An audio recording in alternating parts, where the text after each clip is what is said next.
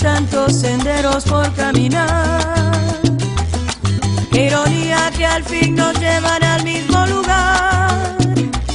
A pesar de las diferencias que solemos buscar, respiramos el mismo aire, despertamos al mismo sol, nos alumbra la misma luna, necesitamos sentir amor.